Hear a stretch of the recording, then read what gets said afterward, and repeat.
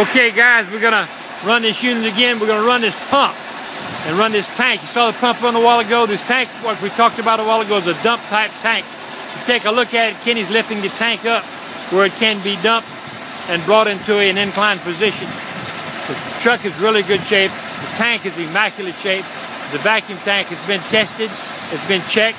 Guys, it belonged to one fella who is retiring and he's selling all of the equipment through auction time. All you got to do, guys, is get your money together, get this thing bought, get it bought on auction time. We're deep, deep south down Louisiana. We're Brookhouse and Brookhouse Auctions, and we are powered by auction time. Get this thing bought and come see us. Thank you, fellas.